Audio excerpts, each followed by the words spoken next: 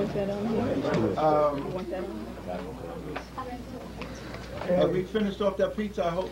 Yes. Good. We shouldn't even be frequenting pizzas, no? The difficulties Italians gave me in my growing up, and what they're giving black folks now, they're giving them their own pizzas. And selling drugs out of the pizzerias and, and whatnot, mafia connection. In fact, you should stay away from Chinese food too, and Japanese. Yeah. Don't buy no Japanese cars. Only fritters. Can we uh, um, have your attention, please? After what that Japanese man said. Um, our brothers in Westchester have produced another issue of the paper, and um, on the network. And you see, some of us are featured. The workshop is featured, and uh, we need to congratulate them because, you know, they've done a very good job. Here's the inner, inner um,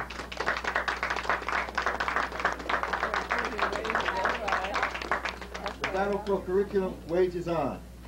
And then they have a shot of myself, then they have Professor Scobie speaking to us. All right. Jerry Price and myself, and then they have uh, Sensei uh, Greg Kamau, when he was uh, dealing with it. So um, they have been doing what the African media should be doing in projecting uh, some serious work done by by our, our community.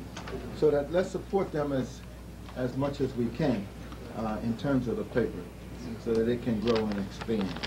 Um, so we have some outside uh, on the desk. There's some here, so we can can guess around. little bit. Now, the young young African warriors.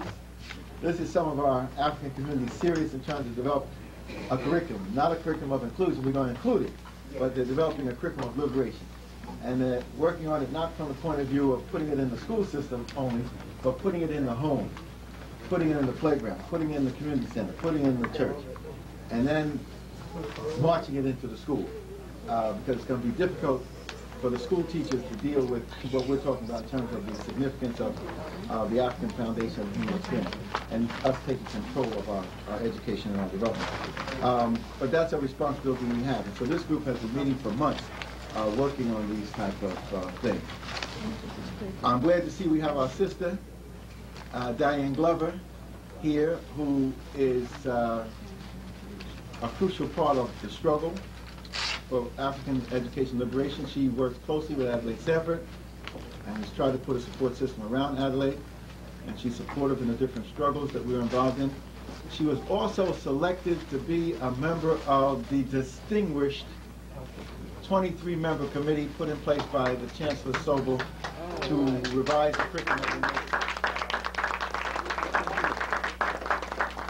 And of course, she's one of our most distinguished members of the committee because she's got to keep a watch on Schlesinger and whatever Diane Ravitch may try to do, working in and around them, and and even Ali Mazrui can't be trusted for so much. Uh, so she, Diane has an enormous job, uh, and but Sister Glover is up to the task, but she needs our support, and anything she wants, um, we've got to uh, help her with. So, uh, Diane, feel free that you can uh, hook into this group and its larger extension uh, to get anything that you need, any type of support. If you need us to come up there and bring 200 people up there to look like we represent two, you know, 200,000, then we'll do that. And these brothers are serious about their growth and development. And so, um, they were just in my office looking at some of the books. They were glad to hook up with Professor Scobie so that he can be invited out to participate with them. And uh, one of the brothers is at Bronx Science, so he wants us to possibly come later in the year, with some of the students at Bronx Science. He's head of leadership group there. And also, um, they understand that they need to form study groups. It's not just a matter of rapping uh, or getting the message across, but it's also growth and development. And so, just as we are organizing in study groups, um, they realize that it's got to be done. Somebody approached me today and mentioned that Kermit Eady, the head of um, the Black United Fund, uh, wants to work with setting up study groups in the buildings that they're working with. So that's eventually where ASCAC wanted to go. Study groups on every corner, uh, in every community center, in every youth center, and this is something that they, white folks can't control. Diane Ravitch can't do nothing with this. Even Tom Sobol can't put any parameters. And certainly Mayor Koch and uh, Governor Cuomo can't deal with it. So the whole study group process is our way of, of setting up a foundation under our community. And as you know, uh, those of you who don't have the Power Pack, the African Power Pack, you better get a hold of the African Power Pack. Otherwise, you won't know about the Statue of Liberty. You won't have the documentation. Uh, you won't have the documentation of putting white folks in those caves. So you've got to put the white folks in the caves at least 25,000 years. If you don't put them in there 25,000 years, you're in trouble. And uh, but it's a documented 25,000 years. It's not something that we just fathom down of our imagination. So you go to the videotape, go to Newsweek, uh, the way they were. Put them in that cave 25,000 uh, years. That's why they're upset with me. Because the documentation is there, and the analysis is there. And also the Black Adam and Eve is, uh, is here. And then, uh, of course, in the Power Pack, we have a study on South Africa that I did, uh, which a lot of you should get into uh, because there's some serious analysis in terms of really what's happening in South Africa, in terms of the land, in terms of that value system of death, that chosen people value system that comes out of an Afrikaner church. You know, we had talked about the church yesterday and the role that the church can play in devilishness. And if you want to see what Christianity can do in terms of devilishness, you need to see it in South Africa. On the black side, as well as on the white side, as well as on the Dutch side, as well as on the English side, as well as on the colored side, as well as on the Asian side. The devastation of Christian ideology of death and white supremacy is right there for everybody to see. And when I was with the World Council of Churches in 83 in Geneva, I had it firsthand uh, to get the knowledge and information. So the brothers, I want to give them uh, the Power Pack. And this is for some serious study. And out of this, some of your inspiration and some of the...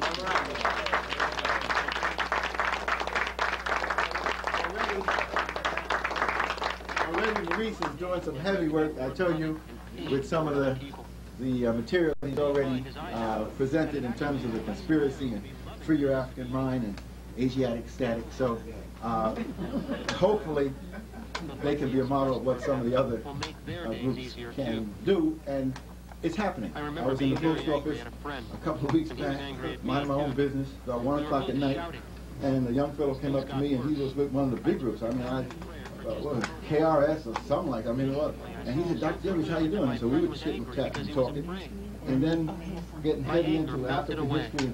And the white man across the way was minding his own business, getting his nails together, and before he knew it, he had to interrupt us. and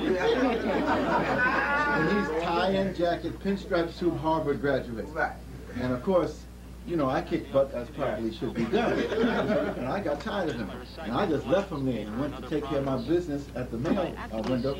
And this young brother took care of business. I mean, I mean, I was so proud to see him take on the Harvard graduate and just wipe his butt out. You know, so I said, if this is what happened with the young people, I said, wow, we, we, we, we may have something here, you know. And uh, he did give me his little card and stuff, so I had to remember. But this is happening all the time. You meet these um, young fellas really trying to grow and develop. But of course, all we see on the TV screen is people being dragged off uh, for some uh, unnecessariness that they've been bothering. So, what I would like to see the brothers do, you know, whenever we open up our activities or end it, we usually have something special.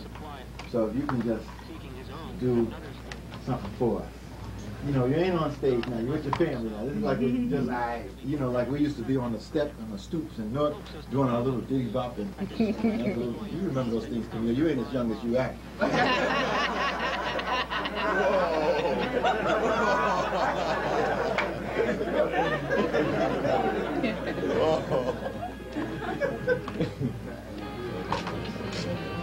And any of you who want the uh, package, we do have them.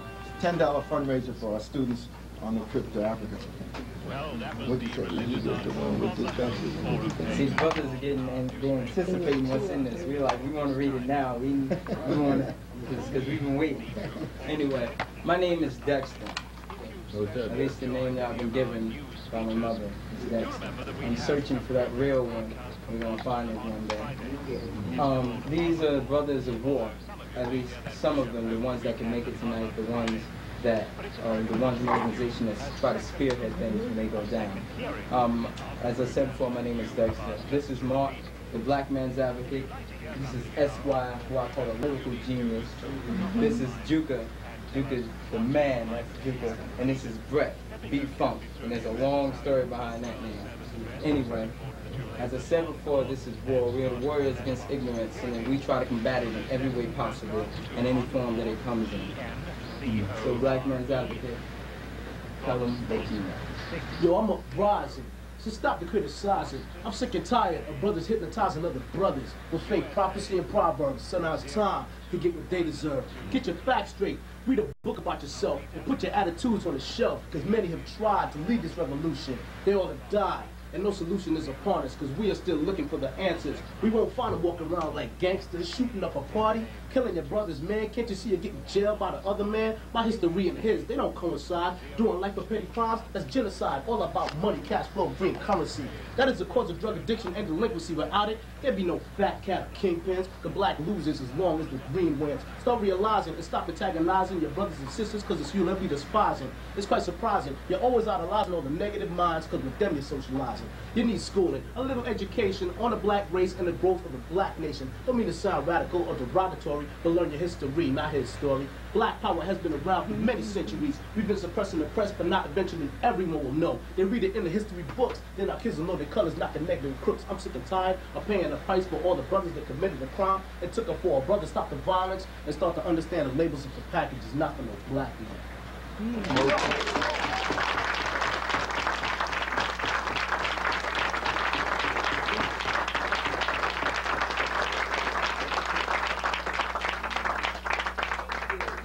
My hmm message. Here we go. We can get it. I want to do this for the clap, but I don't have a very strong voice to bounce off the back of the wall like his does. So we can just get the rhythm it. Here we go.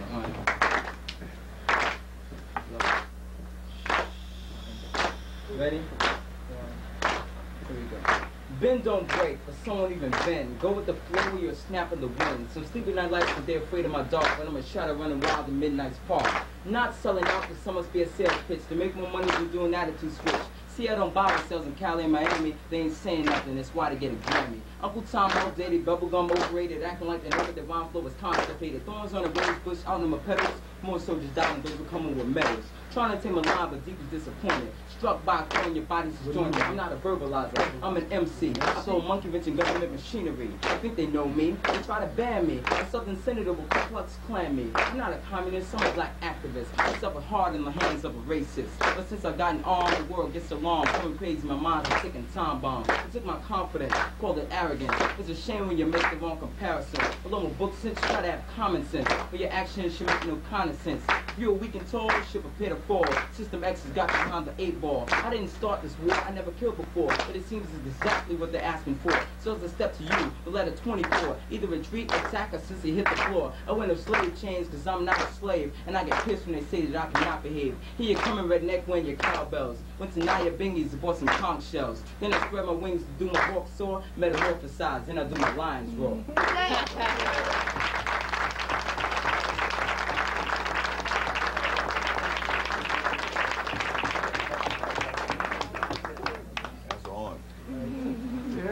The said before, my name is Esquire. It stands for Everyone Stupid Quickens Unintentional Racial Extermination.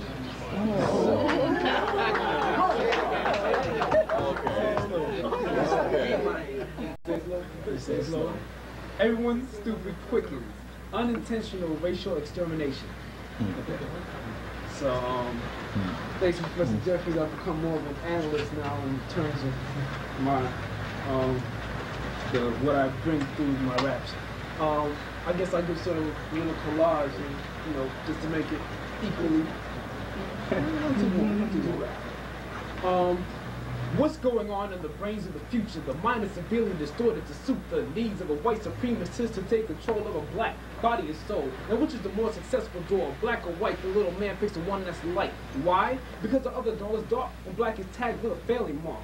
Now, which is the prettier door, white or black? The girl thinks white is the obvious fact. The U.S. cracker, he looks on smugly, cause now this girl thinks black is ugly. African American youth never get truth, and what's next is an inferior complex that cuts so deep that it's bound to scar the mind of a child that's so into Barbie. And while Barbie drives a Corvette, running shoes are all Flojo gets. It's all a scam, the blacks in bedlam. If he doesn't hear the conspiracy, poor little Sambo, nobody knows. The pain from the blows of the blackface shows. Taller and taller the tale they were telling. Boys wearing shoe polish, eating watermelon. A disgrace to Sambo and his brother Cool. The names they were given in a nightmarish cartoon. You really think the odds of golf balls when they about to compete with Battleship Look? You better think now, Mammy's the mother. Fat with a bandana wrapped on her head, talking to the master with a man of law show. Was generous to provide you. Wish it was at least good enough for behind you. Washboard in one hand, tub in another. Mammy's the nanny and she's handy as a close scrubber. Husband, uncle, glued to a fiddle. Smiles his teeth, tooth missing in the middle. All these types of hype at the time were ripe as they marked the Africans, darky and nigger. This kind of ethnic blow is gone on a brother that I never call Sambo. Freedom, free your dome, liberate the mind. The demon has you confined, confused, confounded, they compounded lies. Got you mentally surrounded, trapped, going to lack the captivity. Shackled the African thought they were mastering bodies and souls, so they went for the spirit. Took out a whip, major forefather fear it. Our ancient mothers were raped, refused to warm the bed, and they were dead, causing this marginalistic picture. Could have been authentic, now we're a mixture. A non-prejudiced explanation why the world, not just a nation, is a melting pot or pan. Done by the hand of Captain Caveman. Tell me why this tribulation is not uncovered by so-called education. I say so-called by simply explaining that they insist on training. It takes a well, a well-trained dog to roll over, beg, walk upon his hind legs. Otherwise, that dog is a fool on how to survive what he thinks is cool. How could they arrive at this conclusion? Saying the black man made no contribution. Hoping one putting out an illusion. African descent will get struck dumb. They better save a time for a contusion and get quick to kick with an infusion. I put, I better yet put an effective inclusion of truth into the curriculum. Get the crap out of my face on the properties of Herodotus, Aristotle, Socrates, Socrates. Because a lot of these men, a lot of these men, the man believes to be fathers of thought were thieves. The scriptures on the pyramid Know thyself. Materialists never share the wealth. There is a royal richness you can't find unless you free your African mind. Thank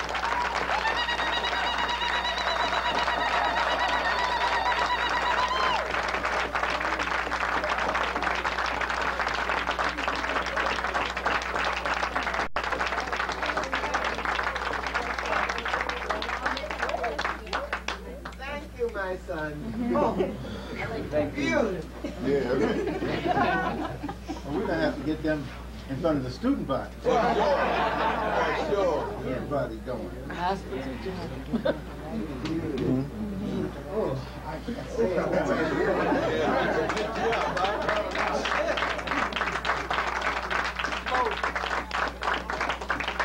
just say one thing in closing. I want to say that I'm extending my hand and thanks to all of you and Professor Jeffries for having us here. We, like I said, started our organization, but we're just at that fetal stage, waiting to be born into something spectacular. Mm-hmm. So we're just hoping that we can have all the help that you're willing to give in making what we're trying to do possible, and we're willing to give to you everything that we can as your brothers, and you as our sisters and brothers. So peace You and already thanks. there.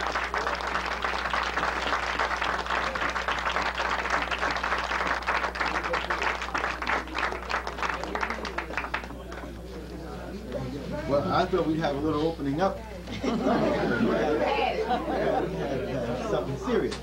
Now, what we hope to do is to take that energy and that consciousness and figure out how something can be done for the one and two and three year oldest. And so when they go into the school, they go in rapping, you know, our history. Yeah, right. And the teacher is looking to find Dick and Jane and give it to them. And, and they talk about Nzinga and Harriet Tubman. And uh, so we'll work with the brothers and we'll extend any help that they need, including financial help to make sure that they get their stuff on wax and whatnot. So that um, that's a commitment that we will make. I'm glad that you all came. And so we just hook it up the way we need to.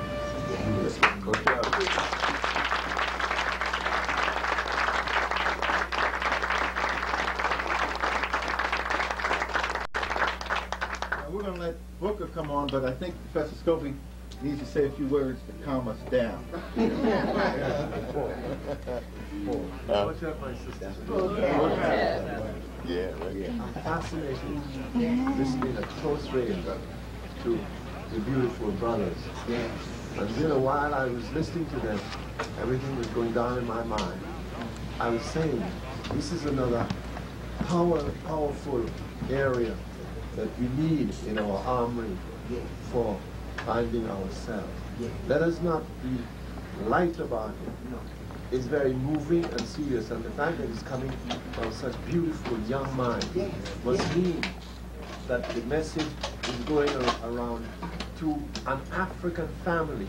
We have now come to the stage where I'm sure we are going to, we include not only the elders and the older ones and the not so old ones, but we now have our young people That's seeing right. what they're right. seeing and putting it in the way that young people put things today. And I think we may not take it light because this is a serious inclusion in the African struggle. And um, how far it will go further, we will just see. But it's something that we are developing, and I now see the development in its totality. And I see another thing that it brings to us is the fact that we as an African family, wherever we may be now, are getting together in a mm-hmm. unified way. Once you can get your young, your youngsters with you, your children with you, and talking the way they are talking Yes. through a, a, a through a media, a medium that is entirely belonging. If it's on the face of America today, it's our is our youth, like these beautiful brothers, and who are other other places too, who have brought it before us. At one time, I know we would say that, oh, rap and say rap, you know, and, and the older ones tend to think, oh, we have nothing to do with that. But if we don't have that with us as a component of this ongoing struggle, a struggle that's going to go, the brothers have said we're at war, and their, their weapons they're using is the most powerful one. Yes. And I welcome them into the family. And it's always the elder must do it. Yes. I welcome you. you know.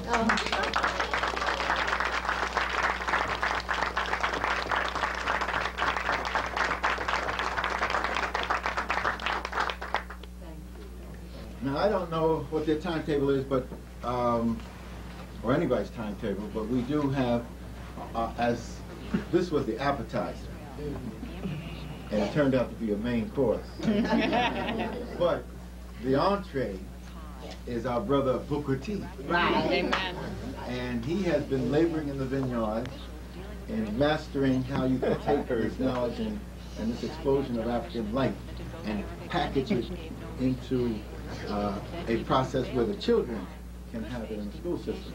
And he's been working in District 9, a troubled district, but he's been a stalwart and trying to develop things The there. Arab League And he's had a team of people, he has Jerry and Israel Thursday, he but has, uh, split over Brother an Collins unsuccessful bid and by and and the others Palestine who have been working to put together Organization a to serious include a curriculum, denunciation of including the lesson United plans. States. So The while League's 21 members had convened an was worried about emergency session Wednesday night to draft a statement on the October 8 killings of 21 having been there for several Palestinians. The delegates from uh, Iraq, the now PLO, Yemen, and Sudan walked out of the meeting Thursday we don't see to protest the defeat of a enough to show resolution denouncing the United States. And what can be done. On the that, 40 uh, Even though we talk about the Portland war, based on, let's say, District Nine on this side of the continent has been doing some serious work. So, uh, if you can give a special African welcome, uh, to our brother Brooklyn.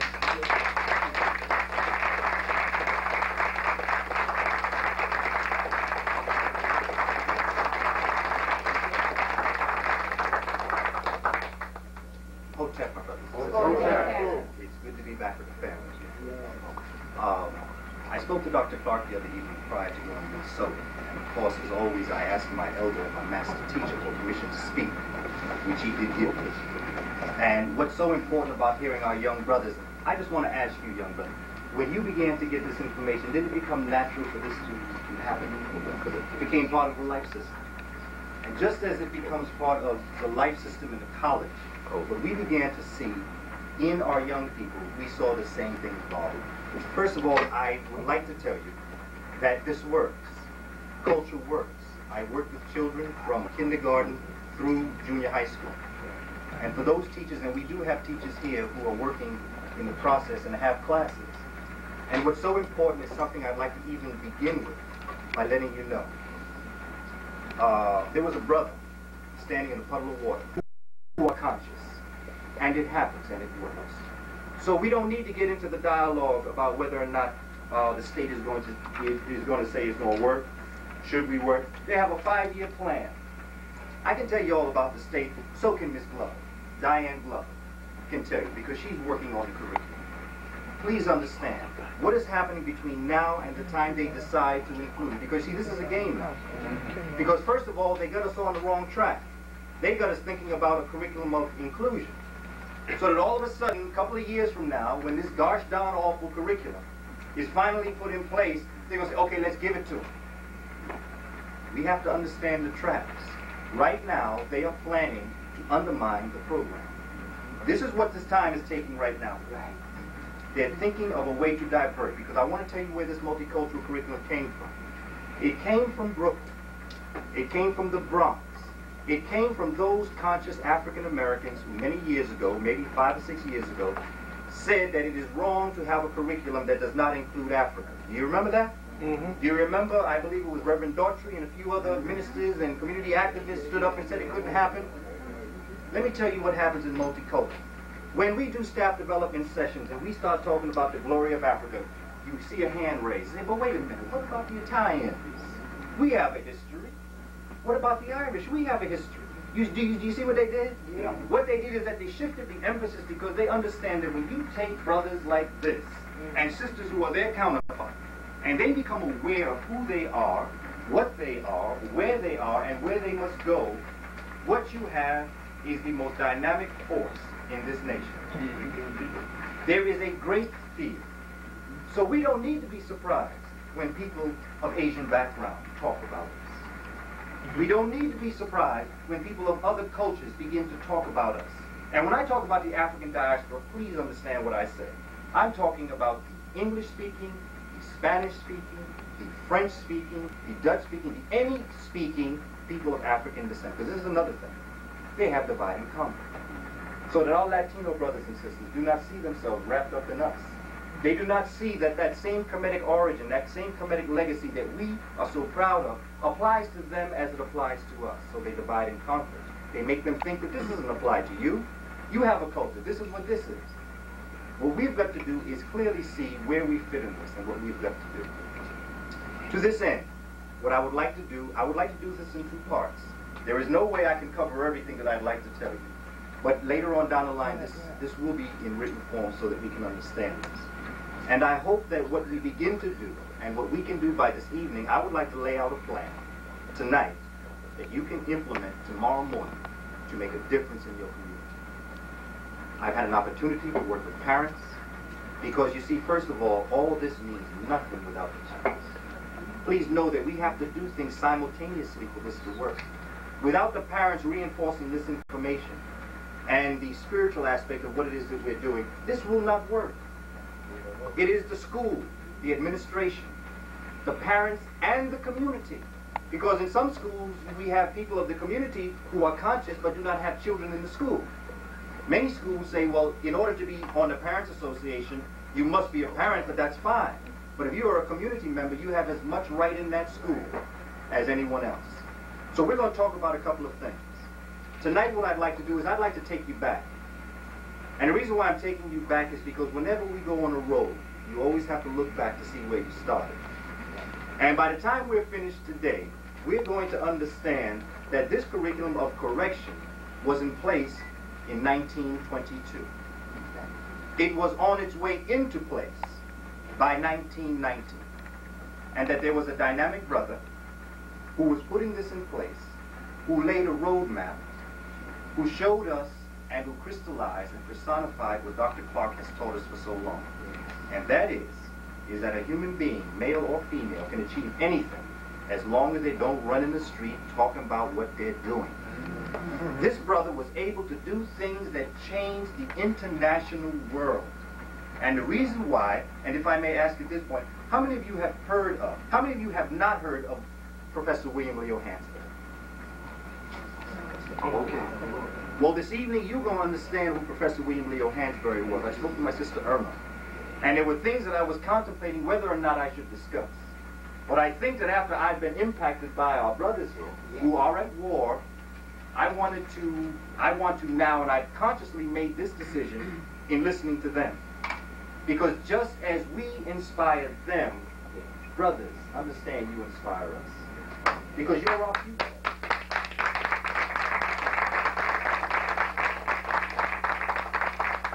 And although the struggle is long, victory is assured as long as we are united.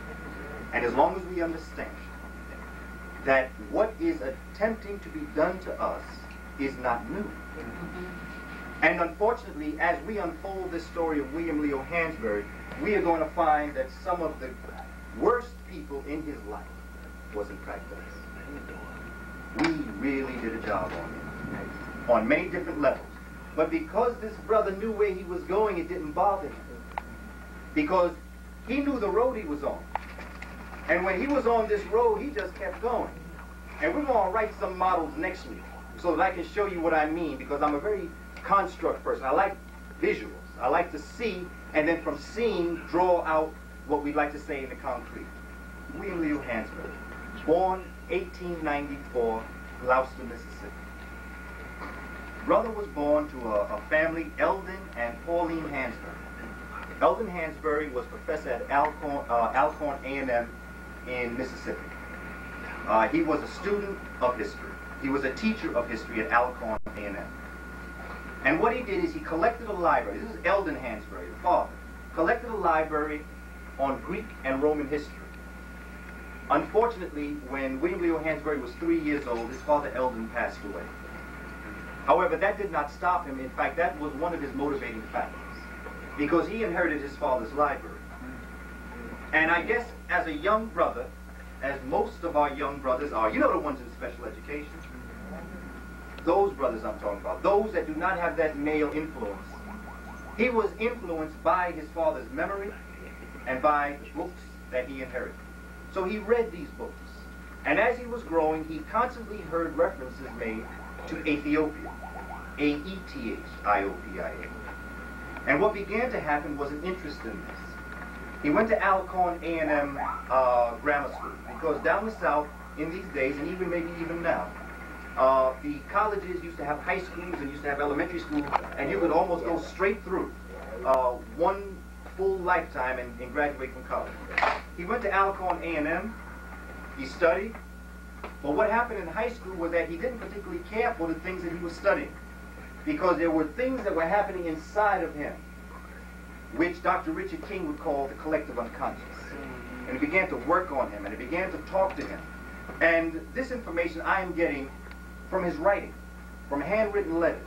And as we go through, I'm going to tell you some of the backtracking that had to be done in order to find this out. Because when we're talking about researching, and to my young brothers, and although our sisters may not be here who are in, do we have any young sisters who are in college that would be counterparts to our brothers up here? Well, in, in their absence, we'll speak in general because our sisters are their counterparts.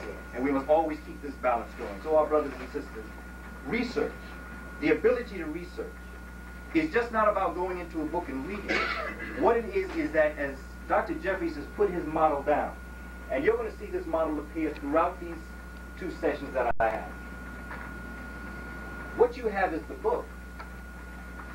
Well, I shouldn't put the book here. What you have is the interest. What makes you pick up the book? Then you have the book. But it does no good. You have to have a process going on. Something has to happen to make you think about the book. And what you find out about the book and the information that you're reading comes here. When I first began researching Professor Hansberry, I had an interest and I had material. But what I found out about him as I brought the two together allowed us to see the importance of the curriculum of correction.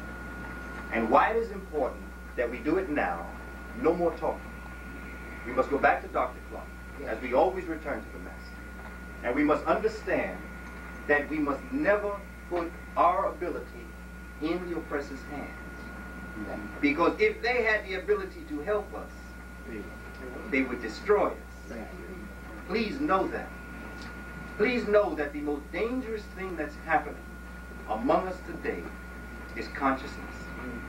To see our brothers and sisters in high school, in grammar school, wearing arms, kente cloth, all of these different things that are evolving. People always say what happened to the 60s. Well, the 60s became the 70s. The 70s became the 80s, and now we're in the 90s. This is a process of growth. This is evolution. This is like Nun, Ptah, and Atum. These brothers, being influenced having an interest in their culture is Nun. Their ability to be with a scholar such as Dr. Jeffries, Dr. Scobie, Professor Yarborough, and all those connected with CCNY then resurrect our young brothers and sisters to consciousness which is up to. I like visuals. You'll see a lot of these as we go through. In fact, next week you're going to see an experience chart, because I'm going to get tired of writing here on this board all night long.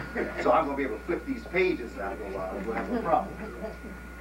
But what you have happening in William Leo Hansberry's life is that he's becoming interested around his sophomore year in high school. There's something happening to this brother, and you can see by the way he's writing. Something is connecting with this brother. And what he begins to do and what he decides to do is that he transfers. He transfers to Knoxville. Knoxville in Tennessee. Now, mind you, he lives in Mississippi, but he wants to go to Tennessee. Something's happening to him. So what he does is he transfers to Knoxville, Tennessee. However, in Knoxville, Tennessee, there's a lot of agricultural courses. This brother wants to get down on some serious African knowledge. He's being uh, weighed down by courses in agriculture, demonstration agriculture. This brother says, yes, Booker T. Washington was a wonderful person, but there's something I'm after. And I can't find it in Knoxville. So he decides to go on to Atlanta University. And at, and at, at I'm sorry, and Atlanta University, he realizes that what's beginning to happen is that something else is beginning to occur. Franz Boas' works begins to appear. Felix Dubois, Timbuktu the Mysterious begins to appear. A lot of different things start to happen. And what he decides to do is he's going to put all this down and he's going to start to read. When he read Franz Boas' work, and when he read uh, Felix Dubois' work, which was published in Atlanta University at this time, he says, where can I find more information? And he's having problems. But you know how the ancestors worked with us? Where they show us the way? He goes away during the summertime and he's reading The Crisis done by Du Bois. And what he sees is an advertisement for a book called The Negro. He sends away for the book and he reads the book. And when he reads this book by Du Bois, he realizes at this time he has got to find books on the bibliography. He returns to Atlanta University and he starts looking for the books. But at that time, Atlanta University didn't have the kinds of books that he wanted. He wanted books like uh, Lady Lugard. Lady Lugard's uh, A Tropical Dependency, because this was one of the books that Du Bois wrote.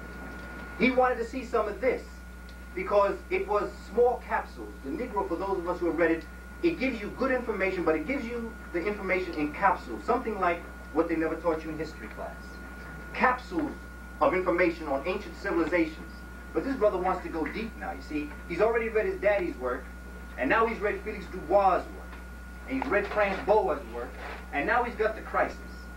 And he decides he wants more. So he's looking all around for this work, and he can't find it anywhere. He goes there, he asks, where can I find this work? And he comes upon the head of the sociology and history department, uh, John Bingham, and John Bingham, Professor John Bingham tells him, well, the only places you'll find these works is at Harvard, Columbia, or the Library of Congress. At this point, William Leo Hansberry's life changes. Mind you now, he's moving around in many different places in the South. And for a young African American male, at this time, to be doing this is phenomenal. But to be willing to take the sacrifice that he's about to take is even greater because the brother doesn't have the kind of money he needs. Remember, his mother has married by now, and he doesn't have the kinds of money he, he needs. So what he does is that he works, and he saves enough money to get to Harvard. That's all he has. It was at this point that the first thing that he does when he leaves, um, when he leaves Atlanta University, is he comes up to Cambridge, Massachusetts, First thing he does is go to the library at Harvard. It's the first thing he does. And he begins to read Lady Lugard's Tropical Dependency.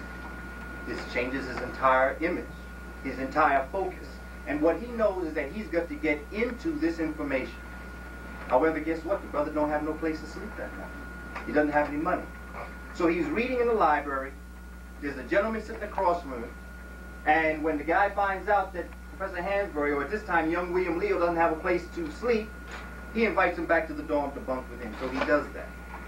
To make this all, this piece of the work short, sweet, to the point, because again, there's a lot I could say about this period. What William Leo Hansberry does is that he works in the dining halls of Harvard University. The very same students that he sits next to in class, he is serving them dinner and lunch and breakfast. But there's something in the back of this brother's mind that when you read his biography by many people, unless you've gotten into the research, you might be led astray. And this is why it's so important that when we do research, that we do comparative research. Hmm. That we not only go to what is written, but that we go to other things that refer back. Because when you do that, you create an image of somebody that might not be true. Because you're reading information, but there are other things going on at the same time. The only reason why he's in Harvard, he don't care nothing about that degree. He cares nothing about the education he's getting from Harvard. You heard Dr. Jeffries talk about his, what was it, billion dollar uh, uh, education? You, you heard that. William Leo Hansberry's not interested in this. He wants to read every book on Du Bois's bibliography. And unless you can get into that piece of it, which is in a letter in his home, you're going to miss the most important reason why he's in Harvard, and you're going to misinterpret why he does what he does as he goes through. He becomes a special student, which is non-matriculating. For those of us who have been non-matriculating, as myself and, and probably many of us, it means that you're not going for the degree. You're just taking certain credits that at some time down the road may go into your degree, but it's not going to your degree. He's not allowed in. However, in some of the letters that are written from, you see, this is the admissions department writing to different scholars. Will you accept William Leo Hansberry in your class? He's a wonderful person, but I just want to tell you, he's a colored boy. These are letters written that he doesn't know is being written at the time. There are, there are teachers who write back to the admissions director saying, I'll accept him. There are others who say, I want no part of it. But he gets in as a special student. He goes away one summer, uh, the, the summer after being a non-matriculating student, and, he, and it's in Rhode Island, Narragansett Hotel, or Motel. And he works as a presser, as a cleaner, he washes dishes, and he orders books, and he transports himself with this money from Narragansett in Rhode Island to Cambridge at the library. And he begins to continue to read the books. You're going to hear me say this constantly because this is what's driving him. It's not Harvard. He don't care if he's non-matriculating. He wants the books. He wants this information. So he goes back again. They take him in as a special student. All of a sudden, in the second year, they decide that they are going to give him more courses than necessary. But now, something else happens. Remember, this is around 1917, 1918, 1919, World War I. Since Du Bois had such an impact on Hansberry, what Hansberry does is he enlists in World War I. He serves in the army for four months. He is, because of his college education, he is the uh, assistant to the commander on the base. And what he does is that he returns to Harvard because the World War I ends. He's only in four months before it ends. He returns to Harvard, but check this out. Because he served in the war and because he's been a non-matriculating student, he's looked upon more with a little bit more pride. Respect, there it is, Sister Franklin. Respect. So they say, okay, we're going to take you in and now you can matriculate. So he starts to matriculate. But now he's running out of money. There are letters that are in, in Howard University in his home where he's writing to a Major Higginson, who at that time is a European American uh, philanthropist who helps African American students. He writes to Major Higginson. Major Higginson writes to admissions. Registrar asks him, well, what, what, what, what about this William Leo Hansberry? Is he worth in, uh, investing in? They say absolutely not. We've given him all the money we can. He's borrowed up to his neck. And he needs to go out, make more money, and then he can come back and devote his time to education. Obviously, since he's working and since he's also uh, in school, he can't do both. He's not a good investment. Major Higginson writes back to William Hansberry, tells him, I'm sorry, uh, I cannot uh, support you. So what's the first thing William Leo Hansberry does? William Leo Hansberry works out his schedule because there is a special degree at that time that said if you completed three quarters of your coursework, which he did, and if you served in the war, you would get an SB degree, which was a war degree. He realizes with this degree, he can begin to teach as a full professor. the brother is working, isn't he? He gets his war degree, he's granted the war degree, and he is given office. He's given office from Atlanta University to work in the social studies department or social science at that time, or he can go to Straight College in New Orleans. He chooses Straight College because through a deal, and again, these are in the letters, he is given permission to develop a Department of African Studies. Mm. Hey, brother on top.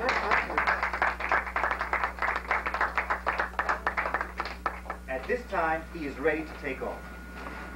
Prior to going to Straight College, he visits a lot of different colleges, a lot of campuses, a lot of YMCAs, a lot of different areas, and he raises money for himself to be able to at least offset some of the money. It is in Straight College that he begins his curriculum of correction. You know this same thing we're talking about in 1990? We're talking about 1921. He begins to develop a lot of different uh, articles, and he writes an article entitled The Material Culture of Ancient Nigeria. In this article, Professor Hansberry compares the West African artifacts and West African structures to the structures of East Africa and shows quite succinctly. Now, this is 1921. This brother's approximately 26, 27 years old. He shows the same thing that Dr. Cheikh Anta Diop shows in that ma- and another master's work, Dr. Cheikh Anta Diop. He shows the relationship between West Africa and East Africa, and he uses the artifacts that he has seen to make this comparison. It's accepted. Whatever happens, he gets a little bit of notoriety, gets a little bit of credit, and what he begins to do is to teach at Straight College. He also continues to write his curriculum of correction because he's not going to give that up because that's the thing he's working on. He raises enough money to go on a tour. And in North Carolina, he meets his third influence in his life. Let me go back. His first influence is his father.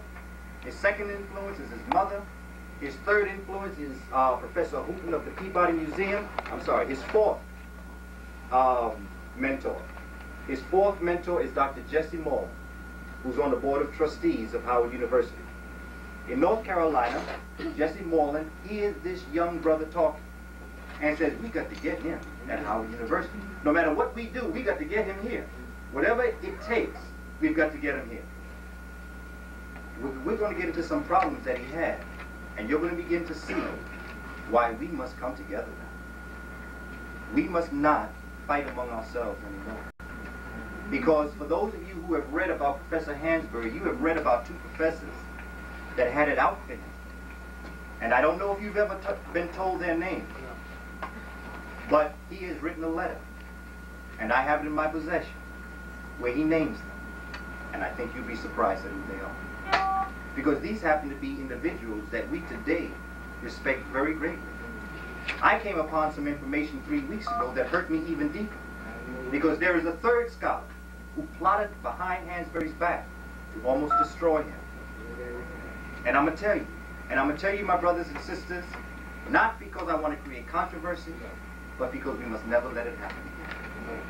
Professional jealousy must stop among us. We must understand that it's the parts that make the whole. Yes. And if any part is out of sync, it's like if Jupiter goes out of its ecliptic orbit. Our entire universe is destroyed. So we have to talk the truth. We have to name some names. We have to get into some interesting conversations. Yes. Because we got to talk, and we and we have to talk on it, and we have to talk in front of our young brothers and our young sisters, so that we can understand and work it out, so that it does not happen. again. Professor Hansberry tells Dr. Moorland, I'm not quite ready yet to go to Howard University. Some more things I want to do. So now he's got enough money. He returns to Harvard. And he works with Hooton again. Now, he's not going towards his bachelor's degree. He doesn't have his bachelor's degree yet. He's still got this SB degree, but he wants to raise enough money so that he doesn't have to go through this nonsense anymore. So he begins to go back to Harvard and he begins to study, but he takes graduate courses, but these graduate courses don't go towards his bachelor's. These are just simultaneous courses he's taking to get himself through all of this. Finally, he decides to go to Howard. And he is notified by Jesse Moorland. There's letters going back between Jesse Moorland and Stanley Durkee and a whole bunch of other people. Uh, there's another gentleman, Dr. Charles Wesley, who was the director of the history department at Howard at this time, who also was a Harvard graduate with a PhD. And what's interesting is that Dr. Charles Wesley was going for his PhD when Professor Hansberry was going for his bachelor's. There's a great deal of respect between them and among them. And this is what is really on Professor Hansberry's side. What happens is that Professor Hansberry then uh, writes letters. Jesse Moorland is telling him, write to Stanley Durkee, tell him this. He then says, write to Charles Wesley and tells him this. Then Charles Wesley is writing to uh, Professor uh, to Stanley Durkee, and there's a whole triangle thing going on here. This is what I'm talking about research, and these are the things that we must do. We cannot just go to one source and say we know it all. We've got to go from one source to another and almost make it like a detective story, so that we can un- we can tell the truth, so that we don't make these mistakes again. Because we rely on certain people, and certain people, although they may be very scholarly, and they are, they're, they're saying it and they're not researching and going deeper into the causes and the effects. And when you go into the causes and the effects, Hansberry rises like the sun. He rises. You can see it in his writing. You can see it in his development. You can see it as he's talking to these people. He's learning to do his job, and he's doing it well. Professor Hansberry starts teaching. People are literally frightened. See, this is the Harlem Renaissance. We're talking about uh, the fall term of 1921. We're talking, I'm sorry, 22. We're talking about a lot of different things going on at this time. Let me take that back. It is the, he begins teaching at Howard during the spring term of 1922, but he begins the process during the fall term of 1921. So there's a lot of different things going on. He comes in, please know this is around the Harlem Renaissance. You got a lot of people coming forward now. They're, people are paying attention to what they call the Negro intellectuals. Mm-hmm. And what happens is here comes this Hansberry. Mm-hmm. Got an SB degree. Oh, Alain Locke. Mm-hmm. Alain Locke is a Rhodes Scholar. He's proud of that scholar, isn't he? Rhodes Scholar. It's like someone of Jewish faith getting a Hitler scholarship and being proud of it. Thank you. Cecil Rhodes was the Hitler of South Africa. That's right. Mm-hmm. Murderer. We must be careful when we say we are Rhodes Scholar. It means nothing except you've spent money that killed your people. Mm-hmm. That's what a Rhodes Scholar is. Yes. Plus, you don't really learn much anyway. Mm-hmm. Because you're in universities that don't have the capacity to teach you what you need to know. This is why when our young brothers and young sisters are exposed to Dr. Jeffries, to Dr. Scolden, to our sister Camille Yarborough, to be in the presence of this kind of assembly, this is what education is about. See, education comes from the from a Roman word, a Latin word, educare, which means to bring out. And as the brother was talking about training, this is what we do to our children. This is what we do to our students. We train them like seals. Hey, jump up here. You jump fish. Perform a trick and you'll get a fish. Perform a trick and you'll get a job. That's the trick. We're training them. We are not educating them. We are not bringing the education out of them. Because I honestly believe from the African, the Kemetic perspective, that every child is born with everything they need to know. And as they go through the educational system, it is the fine tuning of the teachers that brings this information out of them. That shows them this is what you have, this is what is here. When you bring them together, then you are like Atum. You have risen to the top. You have synthesized your thesis and your an- antithesis, and you've been able, through a method of movement, been able to get an education. I had a friend, graduate from Queens College. He said, Brother Booker, let me tell you, I got something that three quarters of my classmates did not get. I said, Brother Steve, what was that? He said, I got an education. And that was true, because the brother was conscious. And unfortunately, most of our young people leaving college are not conscious. They are blind. And what we've got to do is to begin to bring out this information in them so that they become conscious and so that they become knowledgeable. You have William Leo Hansberry here. William Leo Hansberry is given permission because remember Jesse Moorland's behind him. Jesse Moreland is not only a graduate of, How, uh, of Howard University, but he's on the board of trustees. He's looking out for him. William Leo Hansberry is like his buddy, his young son, that he's going to bring through this whole piece because at this time Jesse Moorland is trying to bring about, he's trying to pull out of the history department and African studies department because remember, as people of African descent, and I'm not saying this is generally true, but when you went into Howard, you did not learn African or African American history. Mm-hmm. Anything you learned of the African or African American history, you learned through history. Now, of course, that's wonderful in terms of the curriculum of correction if we could infuse that, but unfortunately, in the history department, you did not learn those types of things. See, people were trying to speak Latin, and Greek, and all the rest of them things. You see, they go around campus. Can, can you imagine brothers and sisters walking around talking Latin and Greek to each other? William Leo Hansberry was talking somebody. Ah, I want some Medu Neter here. Yeah. We some Medu Neter to talk. I don't want to talk no Greek and Latin, but he had to study it. Yeah. He had to study it, first of all, to get accepted. He had to study it in order to be able to transcribe and, and understand what he was reading about in the Greek and Latin books that he'd grown up with. So he did it only as a means to an end. It wasn't the end. Yes. You didn't catch him talking Latin and Greek on the campus of Howard.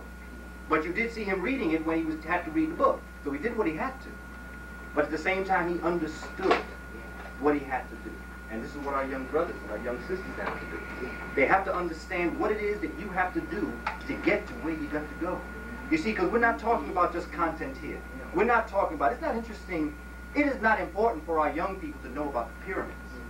What's important is to understand that a society was put in place that allowed great people to rise.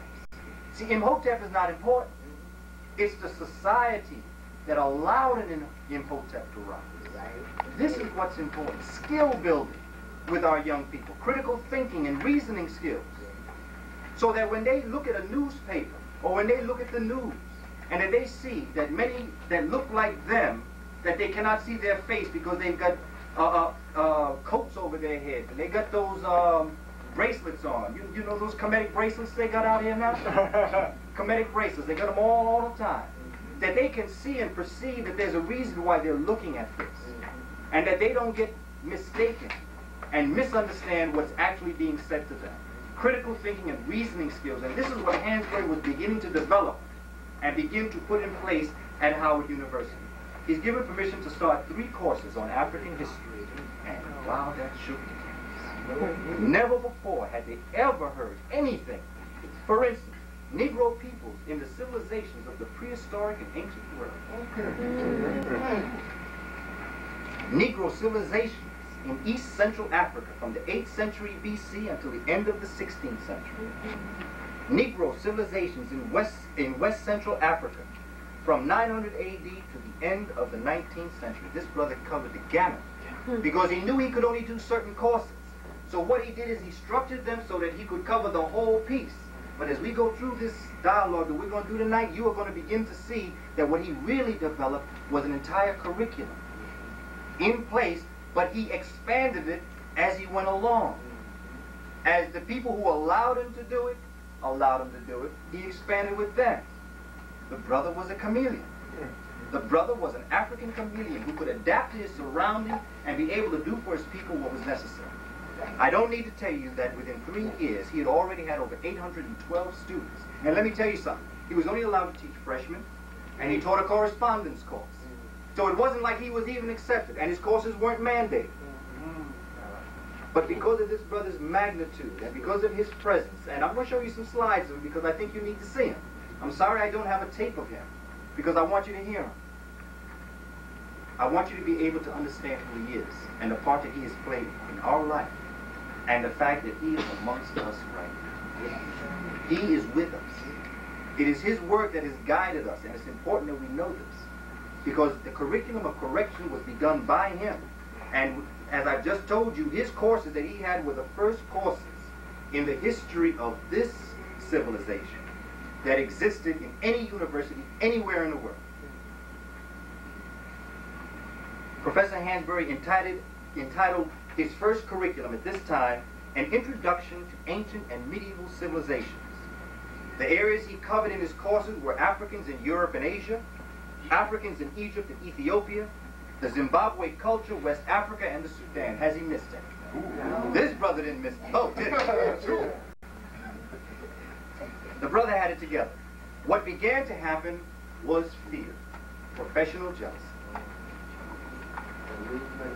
There were people who were very serious. Not only were they lose their job, Sister Franklin, but you know what happened? There was a certain aura in Howard. You see, it's bougie there. Mm-hmm. It's still bougie. But back then, if you didn't have a PhD, who are you? If you are a bachelor's degree, hey, you're not even in the game, and this doesn't have a bachelor's degree. He still had his war degree. So you know how they felt about him. So they began to plot. They began to plot with Stanley Durkee, the president. But I'm going to tell you how the ancestors work. There are letters that are being written at this time between Jesse Moorland, Stanley Durkee, and Charles Wesley. The two people involved in this conspiracy, Alain Locke and Ernest Just. They, uh, there is a letter that was written by Hansberry to Jesse Moorland, and he's saying to Jesse Moorland, he's saying, I don't understand. He calls it misdirected zeal and professional jealousy.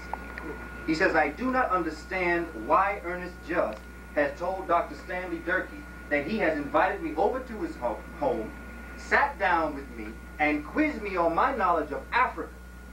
Because not only has he not invited me to his home, but every time we on campus, he turns his head when I come by. Hmm. So people are not telling the truth. We all know Ernest Just. Don't we respect him? And didn't that brother do many great things? But you see, when Setesh, Setesh is in all of us. And what happens is that when professional jealousy begins to be to surface, when you begin to see that there is somebody who has a war degree but has the kind of charisma that can bring people around to, to have 812, there's a letter that Professor Hansberry writes more, and he says, I may suspect that this might be the problem. And he goes on to say that we had a very successful summer school. I had 13 students in my anthropology class. I had 24 students in my history class, and unfortunately, Alain Locke had zero. You see what's happening? The need for research, to be able to go into these letters. And you see, this letter is not where you find it. This letter from Hansberry is in Jesse Moorland's file in the archives of Howard University's library, the Founders Library. Now, if we were just dealing with Hansberry and we didn't get into the other people who impacted his life, and I want to say this to my brothers and sisters in research, if we had just gotten into Hansberry, because I pulled Hansberry's file, but I came upon someone by the name of Dr. Doris Hull, who is a librarian and history teacher at Howard and who was a student of Hansberry. And she said, but you just don't want Hansberry's file. You want Jesse Moorland's file, you want Alain Locke's file, you want Ernest Just's file, you want a whole bunch of files. Because you're going to see some things happening here that's going to surprise you. See, I thought I had a, a, a zip, zip, zip uh, thesis here. I didn't realize that I had one of the first African American soap operas to ever exist. because that's what it is. It is those things that rise in us, no matter how great we are, no matter how wonderful we are, that pit us against each other. And then you have people come in between us and begin to play games. So here's Stanley Durkee. You gonna play some games? Hansberry stood back. Jesse Moorland said, Hansberry, don't worry about it. I'll take care of it. And as you know, Stanley Durkee was the last European American president of Howard University. And it was because of Hansberry. so if he didn't, if he never did anything else, at least he did. Good. You, you see, Hansberry is dynamic. Mm-hmm. He has shown Dr. Moorland that he's serious, that he's a scholar, that he knows what he's talking about. Dr. Moorland said, don't you mess with my man, because I will chill you out. Mm-hmm. And that's what he did. Stanley Durkee became the last European American president of Howard University. And it, it was the, there were a lot of things that happened.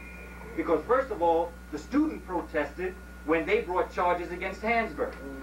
Students wouldn't go to class. You think that what happened with uh, Professor James Cheek was the first time it happened? It happened back in 1925. happened in 1924.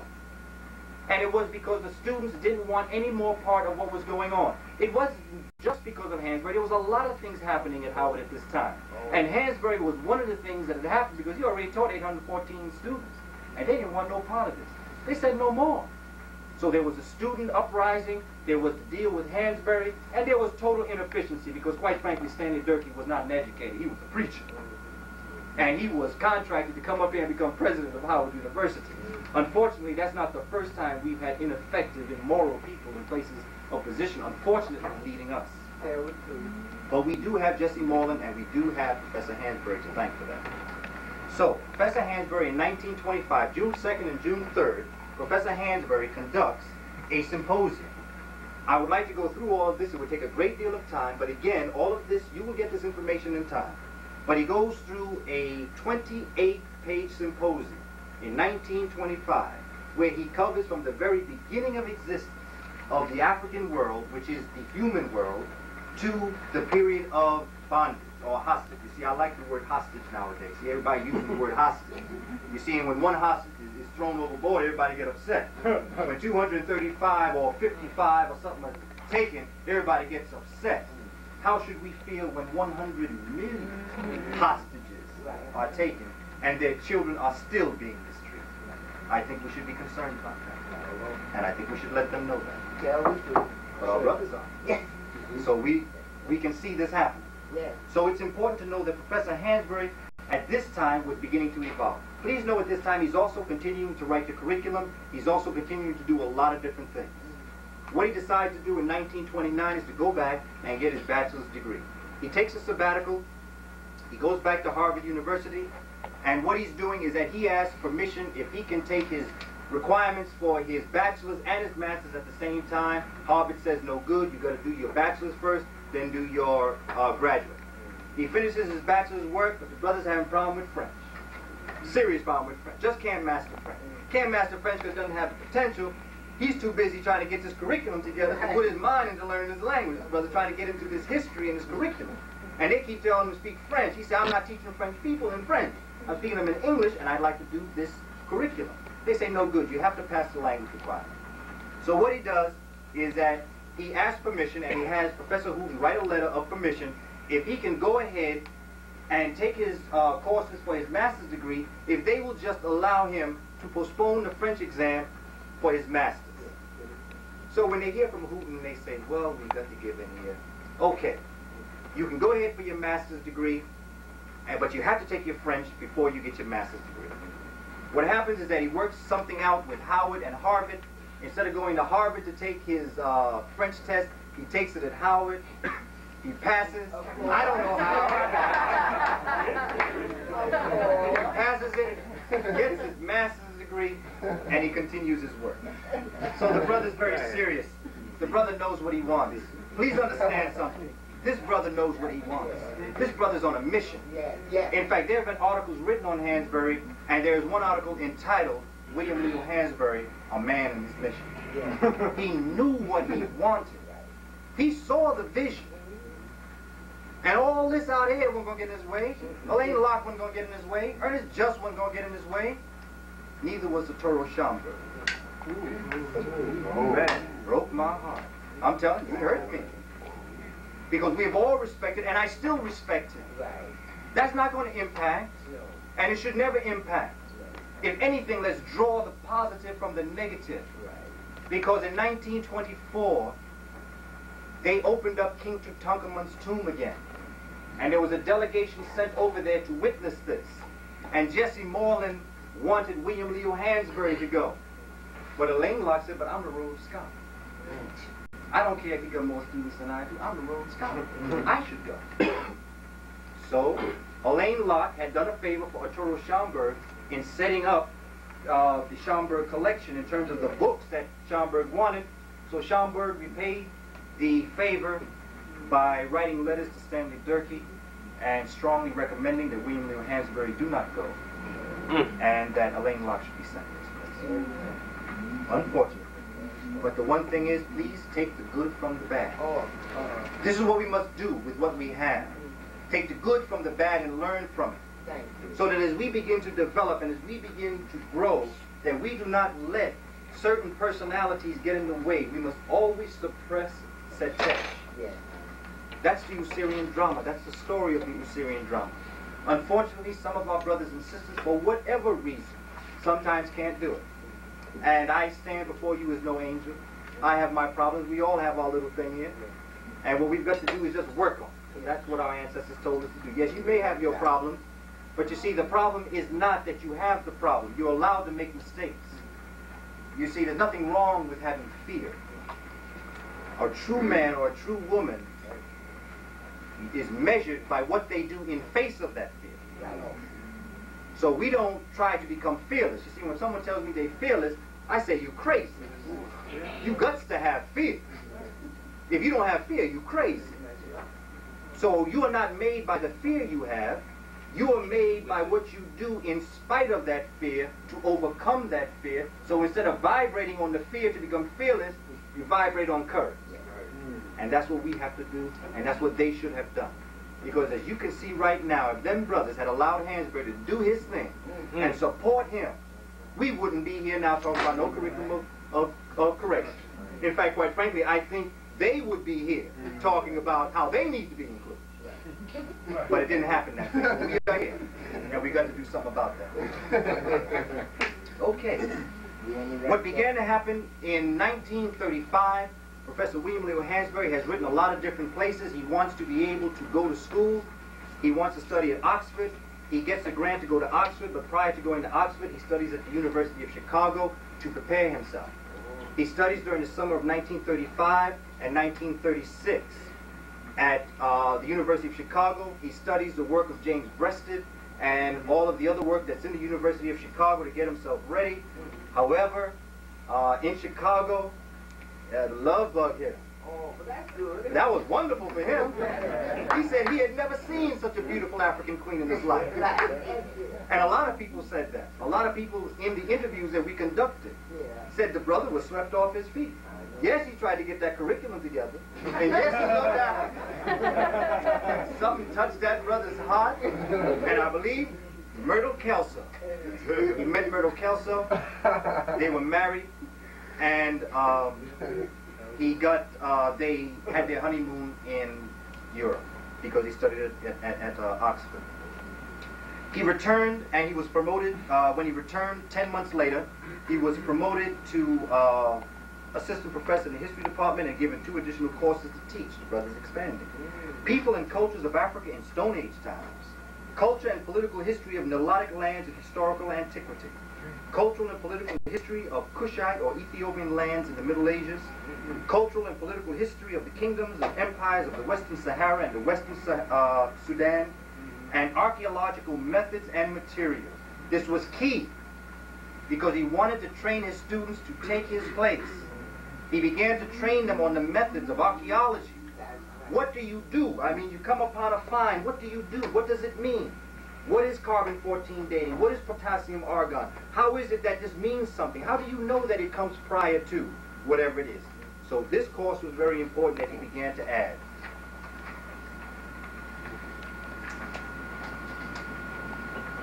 He continues teaching at Howard University, but what happens, please remember that the uh, World War II is breaking out. Now here's a very important part of Professor Hansberry's life, because you're going to understand the impact that this man had on the African world. He is contacted by Ethiopians because he is known at Howard University by this time as the father of African students. People, and another thing that was that goes throughout all of the interviews and the work that I've, I've seen on him is that he never trained them to remain here. He always taught them that their obligation was to return to Africa and to share with their people what he and others had taught them. They would, would return. For instance, the Ethiopian students would return. What happened was is that they sent a message through the grapevine that they needed Hansberry's help in Ethiopia because at this time, this is when Italy is encroaching itself on Ethiopia's sovereignty. Professor Hansberry gets some people together. He gets something called the Ethiopian Research Council together. And what happens, he sends a delegation over. Mind you, this brother in the 30s, late 30s, sends a delegation over to check. Now, mind you, he's also working with the United States government. Mm-hmm. Because in getting the monies and the funds needed to send these people over, he had to be able, because remember, Italy was not on the side of America. So they send him over, and Hansberry doesn't go. He says, You go. Mm-hmm. He calls William Steen off to the side, and he said, Listen, now you go ahead and do what they tell you to do. Because you know what you got to do, because we need to find this out, and we need to free our brothers and sisters. But when you get over there, I want you to talk to some people, because they have some material for you. And he tells them what he wants them to say, that clue word. And once that clue word comes, all this material on African history is put into their hands. They return it to William Leo Hansberry in America. The Count Ciano becomes very offended that uh, William Leo Hansberry is about to finance Haile Selassie's visit to America. The Italian government gets angry and sends a letter to the United States State uh, Department and says, we take exception to William Leo Hansberry. The brother is powerful, political. He's not only an educator, but he's political. And as we go through this, there was something else I told Sister Irma I wasn't going to say, but brothers, you got me fired up this evening, Yes. and we got to talk on it. So we're going to talk about his political activity because it's important that you understand what he was doing. Oh, he had something else. He had a vision. And like Dr. Clarke says, you can achieve what you will as long as you don't go out in the street and run your mouth. Shut up. Do it. Don't say you your brother's keeper. Just keep. and that's what Professor Hansberry did. Okay. Now, there is uh, an article appeared in Time magazine, and it's telling of how in Ethiopia, traveling Manhattan, Kansas, can't get a haircut. William Leo Hansberry says he wants to do something about this. And what he decides to do is that he sets up a council with the assistance of William Steen, James Grant, Robert W. Williams Jr., and Henry, uh, Henrietta Van Noy, and William Gray. He organizes the Institute for African American Relations. You know that big, beautiful building down there by the UN called the African American Institute? William Leo Hansberry created. But you know why you don't know about it? Because in Washington, D.C., a group of European Americans said, well, uh, if we're going to get an institute going here, we need some finances. William Leo Hansberry and these European Americans make a deal. And this deal is you can go to New York and set up your financial arm of the African American Institute. We don't want it here. But in return, you must finance Africa And I'm going to return to Africa because that's very important. But at the same time that he's doing this, Goldie Seifert, Charles Seifert's wife, Charles Seifert and, and William Hansberry were very good friends. Goldie Seifert, after um, uh, Charles Seifert had passed away, called William Leo Hansberry and asked him if he would begin to develop a program of study, which he does. And what is most interesting is that it is here that Malcolm X walked in on William Leo Hansberry and began to get a sense, not only from studying with Dr. Clarke and Dr. Ben and all of the other scholars that he studied with, but Malcolm X was also impacted by William Leo Hansberry at the Seifert Research Center. So when we begin to see Malcolm X budding in his Afrocentricity, it is not by mistake, it is by design. And he begins to see the development and the interaction. I'm not saying that William Leo Hansberry was the reason why Malcolm did it. I'm saying that he was another influence in that great brother's transformation. Okay, now, this African American Institute begins to uh, support Africa House. They have um, headquarters in Lagos, Nigeria, Dar es Salaam, Tanganyika, Washington, D.C., and New York. What they begin to do is miraculous. Nnamdi Azikiwe, first president Nigeria, was a student of Hansberry's during the late 20s. Kwame Nkrumah was a student of William Leo Hansberry. Africa House was an underground revolutionary movement that taught Africans how to revolt against the colonial system. You can do anything as long as you're not in the street running your mouth. Kwame Nkrumah begins to buzz other Africans trained in America. And, I, and I'm sure that you know far more than I. There are those scholars in this room who know the African scholars who studied in America, who studied at Howard University, who studied in these different areas in order to get an education. But everybody, no matter where they were in America, came to Africa House because everyone knew that was the Underground Railroad. William Leo Hansberry was not a man of talk. He was a man of action. And the reason why you may not know him, it is because he designed it that way because he knew if you knew this, they would know this. And if they knew this, they would snuff him out. So he was quiet. He let everybody stand up and get credit for all of these different things. Like when he, in 1950, uh, 1953, received a Fulbright scholarship. And he went to Africa for the first time in his life. The brother went to Africa to study. And as he began to travel throughout Africa, and you've got to know the places that he went to because it's very important. During this time, he lectured and studied in Kenya, Uganda, Zimbabwe, Kinshasa, Ghana, Nigeria, Zanzibar, Tanganyika, Malawi, Zambia, and Liberia. Not to mention the research he did in Egypt, where he was based with his family, in, in the Sudan, and, and in Ethiopia. This is what this brother did in 1953.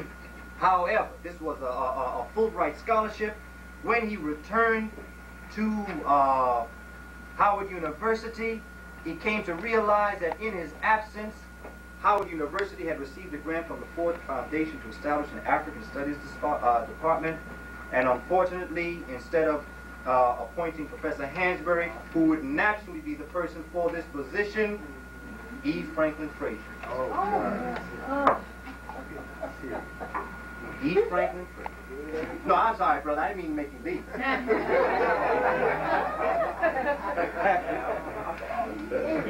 However, I must tell you, from all of the interviews and all of the things that have been said, brother never held a grudge.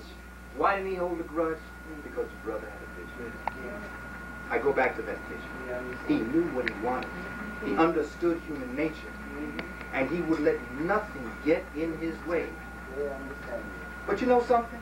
Despite the fact that E. Franklin Frazier was in charge of it, despite the fact that all of these things had happened, that they had a whole bunch of scholars, there was a great deal of interest. Uh, the deal was that you would get Africa House, but you can only deal with the colonial period forward. They knew where Hansberry was coming from. He was ready to take them students back to uh, the Great Lakes region. Right. making them rise up out of the Central Lakes region. They said, no, that's not going to happen. We, we want these African students to rise with change. Don't let them rise with the crown. They got to rise with those Kemetic bracelets. Despite that, he had no problem. In 1957, he was contacted by a great historian to come to the new school to uh, teach an African study course, which he did. He became a very good friend uh, and he became a mentor to this particular historian. And this man was Dr. John Henrik Clarke. And it was out of this experience that Dr. John Henrik Clarke and I sat down in 1983 and discussed William Leo Hansberry.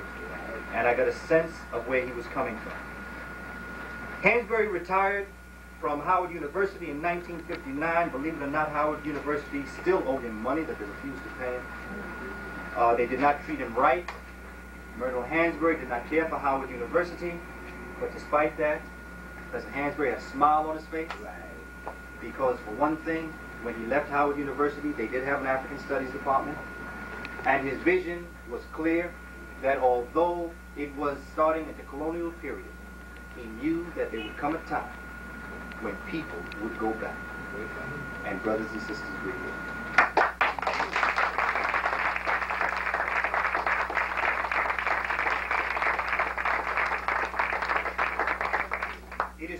Point that we have to realize that as Professor Hansberry taught Professor Clarke, Professor Clarke teaches us, and we teach our young brothers and sisters. this is the continuum. This is the map that was laid out for the curriculum of correction.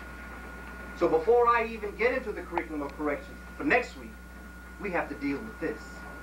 So so that you can understand clearly the map, the road, and those diversions that will destroy us. Nothing must stop us. Our young people are ready. They are like sponge and water, dry sponge at that. They are ready. They are willing. They are able. And I'm telling you, when I heard these young brothers doing that rap, I couldn't help but go back to Africa and hear griot. Right. They, they are training to be griot. Right. That's what rap is. When they were doing breakdance, breakdance is capoeira from Angola. Everything that goes around comes around. We are standing now in the same place that Professor William Leo Hansberry stood. But the one thing that we must promise ourselves is that this time, they will not stop us. Because I'm telling you, our children are ready. But on the other side of that being ready, our children are dying. When a child can be shot in the bosom of his or her grandmother, when they can be shot in the stomach in their own house, we need to do something. But please, we're facing negativities. But please understand, don't get caught up in crack. You don't have to worry about crack. Marcus Garvey showed us that we could go off alcohol, which was the crack of his day.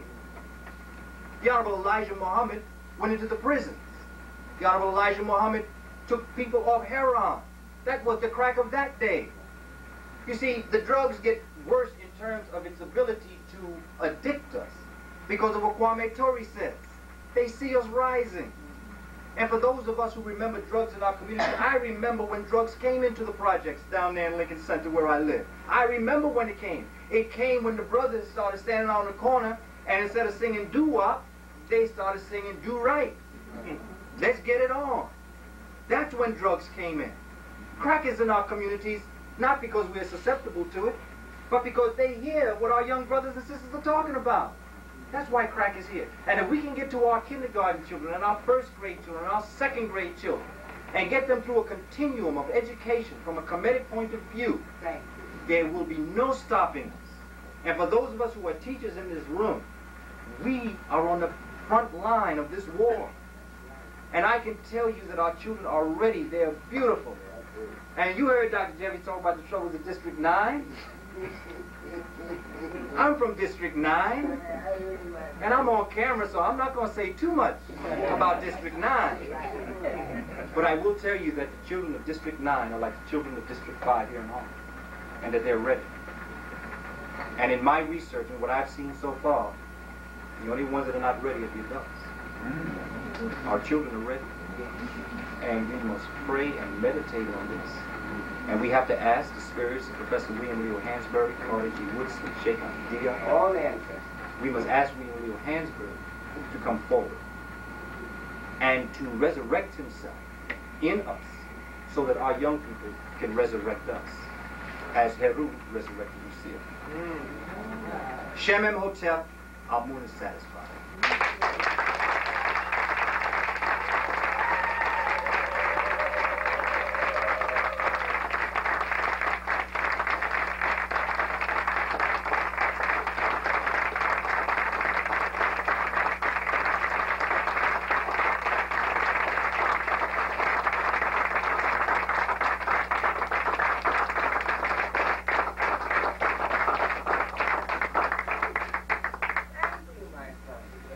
Are there questions?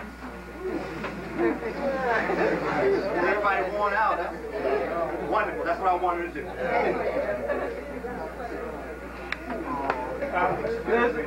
I have a question to do uh, some research on uh, Dr. Hansberry. Dr. Uh, in fact, I have some property right around the corner on, uh, Is there a library that we can search?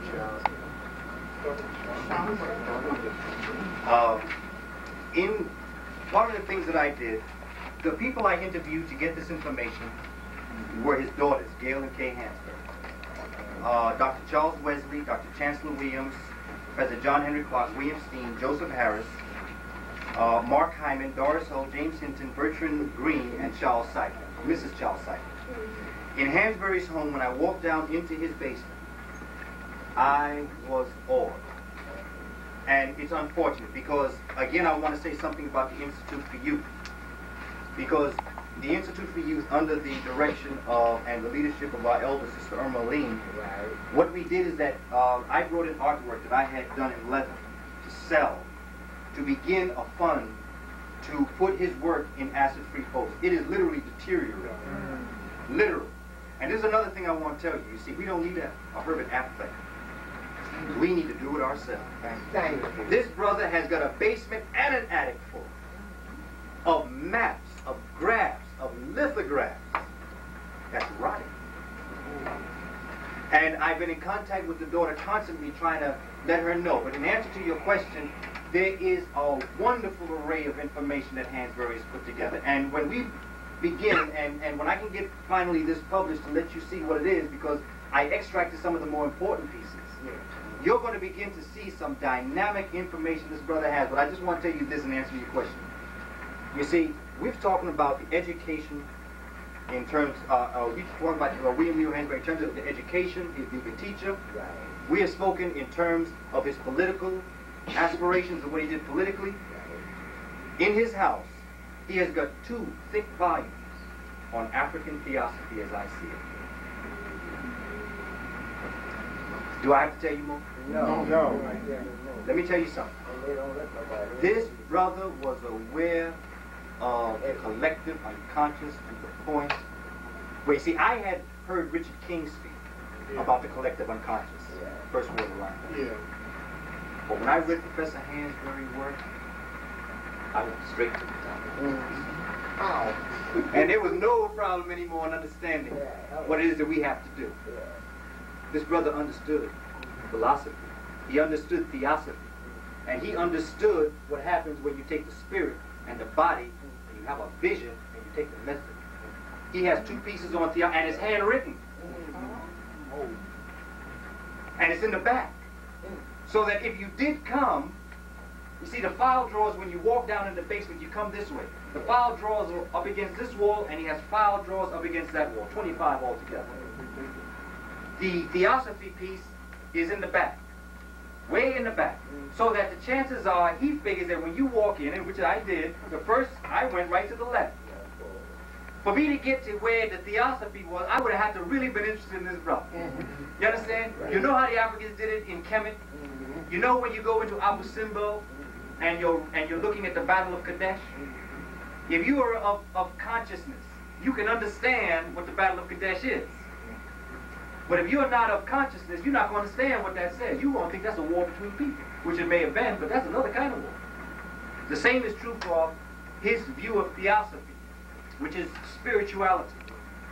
The brother was on time. And he needs to be not only remembered, not only revered, but resurrected. Yeah. Because he's a very important force in our life. And although he is unsung, we sing his praises therefore, you will be putting uh, together. Uh, I have a base fund. And I would like, you see, being from District 9, I, I don't like to touch other people's money. I, I've, I've learned that. I would like Gail Hansberry to be contacted. I would like Kay Hansberry to be contacted. Because, you know, they suffered. The family, I've not even talked to you about what the family had to go through. They suffered a great deal. And I think that that should be purchased from them. And that needs to be put in acid-free folders, on microfiche. And what we've got to do is make a copy for them to keep forever. And take his work and put it so that it will be with us forever. Thank you. So that they can inherit it. That's right. Thank. You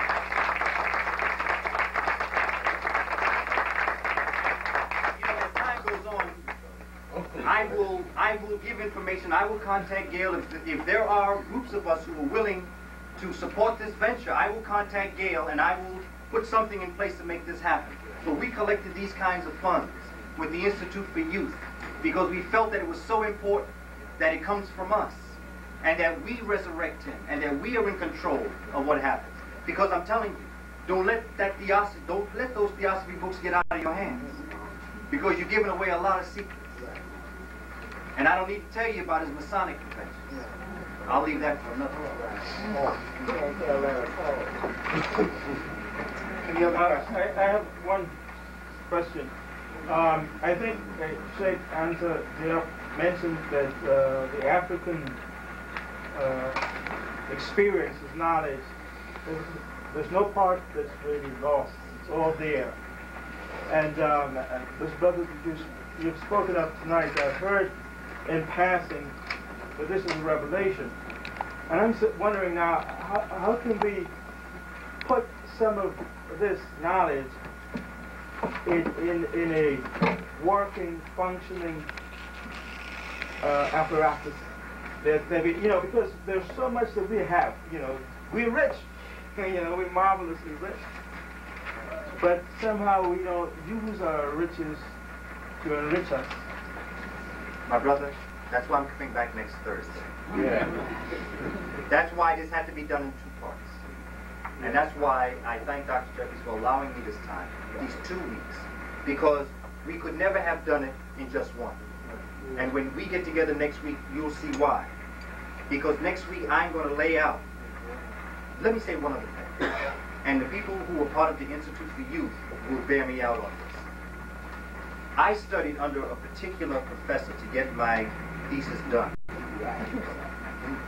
Everything that Professor Hansberry stood for was what he tried to stamp out. I did not know this. But when I began to read Professor Hansberry's work, Sister Halima Mahd was telling me, hey, there's a group called ASCAC coming together. They're going to have a study group. And they, they, they're going to start a curriculum. Uh, why don't you take part? I said, no, my sister Lima, I, I have to do this um, thesis. You know, I'm really working on this. I started working on Professor Hansberry's thesis. And what happened is I had to put it down. Because Professor Hansberry, now please don't get me wrong on this. I'm not telling you that I started hearing voices. But I could hear him say, stop writing about me and write about what I tried to do. So I immediately put in place a curriculum. I put the thesis down. I have five years to do this or I'm going to lose my job. Because as a teacher, when you're appointed, you have five years to get a master's degree. If you don't get it, you lose your license. But something compelled me to put this down. His brother was telling me, forget me. Listen to what I'm saying, man. You're missing my point. His writings were so clear on the curriculum and what you had to do to administer it. I put my thesis down and I started a curriculum. Okay, now all of a sudden come, this is my fourth year. So I said, I'm sorry, Professor Hansberry, I'm working in the institute. Hey, tell me something. The people say, how many times I tell you I had to leave to finish my thesis? I said at least three times I got to go to finish. So let, let me go and do this. I would go home, and Professor Hansberry would smack me upside my head. Of course, I speak in jest. I'm on, you see, people use that. I say this in an analogy. Because as I would get back into it, he'd say, put it down, man, and get back into the Institute for you. I'd call Sister Irma next day. I'd say, Sister Irma, listen, you know, I know you think I'm fickle, but I'll be there on Saturday. I did this at least three times. At least three times. But this is the impact Professor Hansberry had. And you are absolutely right. And may I tell you something else? Which might be a little frightening. I hope you take this right. It makes absolutely no difference if we resurrect his word. You know why? Because we're already resurrected. And that's his story. You got everything you need. We're already rich. We're born with it. All you have to do, as Adam Clayton Powell says, use what you have now. But we will resurrect it, and we will do what we have to do. But even if we don't, we have everything we need to rise. All we need to do is put it in place. Next week, we're going to get it on. Let's get it on. All We're going to get it on next week.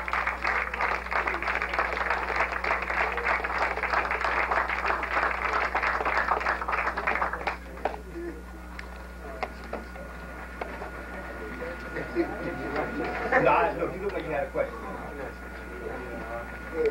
Um, a book that surprised me. Um, Dr. Clarke has always been talking about Leo Hansberry, but um, he's never been able to explain him so we could feel him and taste him the way we have uh, today. And of course, I was just about to get heavy into Alain Locke. but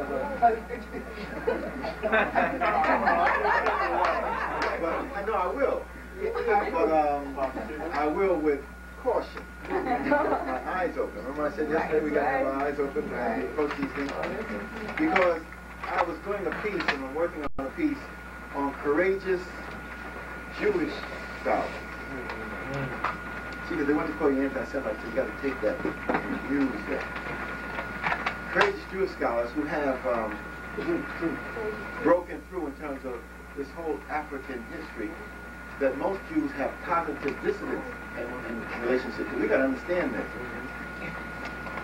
Those people we call the European Jews cannot deal with the Nile Valley because their very essence, everything they learned about their collective consciousness or unconscious is at stake. So when we talk about the Nile Valley and its significance, we're creating a monster for them. These teachers cannot deal with this.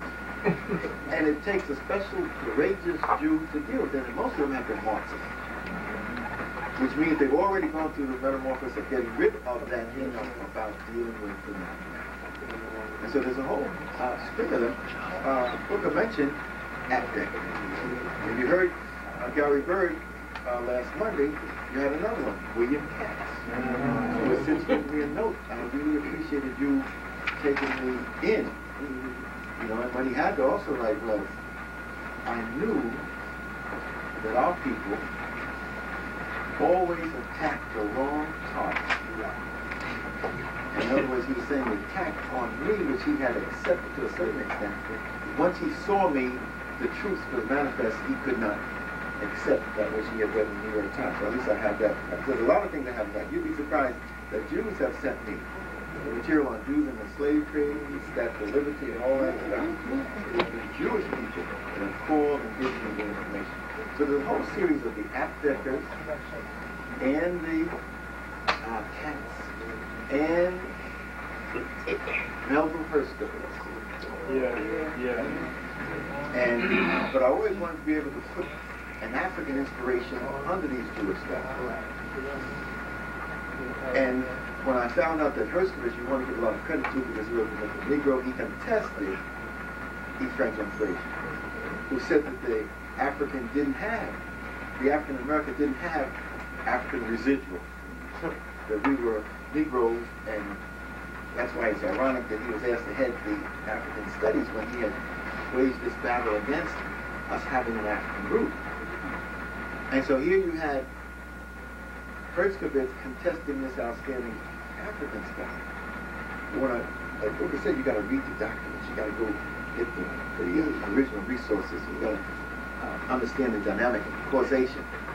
The reason why Herskovits got into looking at the African past of Africans in the New World was because Alain Locke pushed him in that direction. And there's a documentation that shows that he, Alain Locke asked him to write a piece on African residuals. And when Herskovits studied the thing, came up with a piece that there's no African residuals.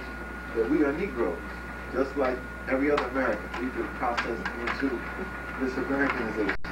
And then it was Alain Locke that pushed him to look further into this thing. Once he got hooked on the African thing, then Herskovits went on his own. So there's a dynamic relationship between these individuals.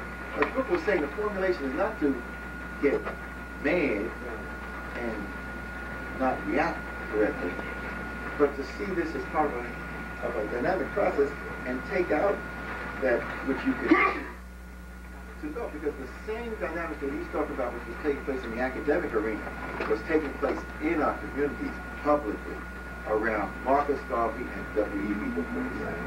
And it was the same type of, of, of dynamic of, of, where we come from, color, class status, European degrees, uh, that type of thing. The beauty that we have now is that our people have gone through that process and now we have a concept of sisterhood and brotherhood, which the others didn't have. Scholars used to hide their work, used to try to fool people. We have a situation where we share. Booker said, here, take this here, but don't put this out to the whole use of.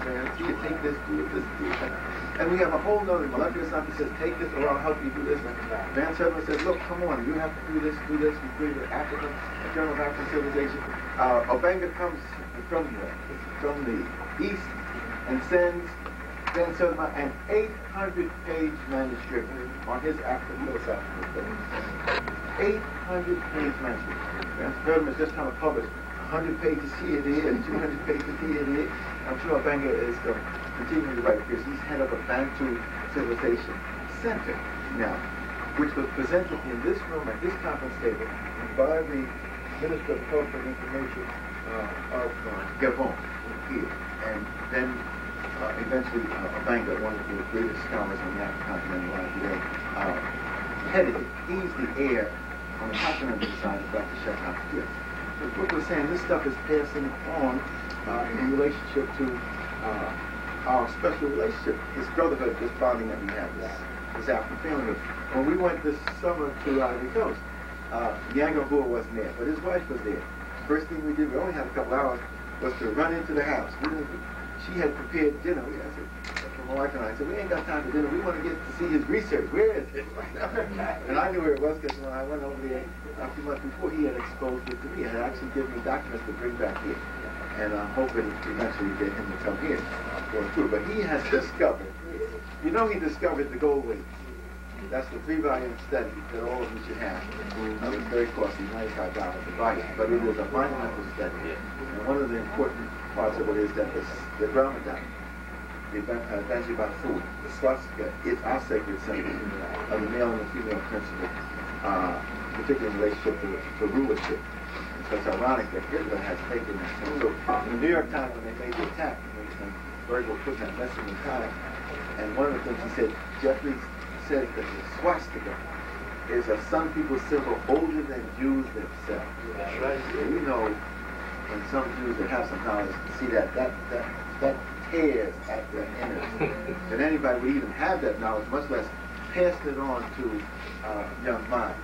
But Boer has published it. This in, in his three-volume study. But he had said a few years ago, he said, the study on the Akan, that's yours. You're always run with that. I'm into something else. And I, he didn't tell me what it was up until uh, a while ago.